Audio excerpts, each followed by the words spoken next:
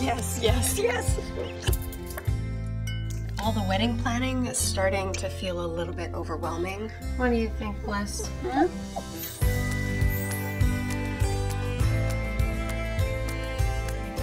All family now. Need to work together.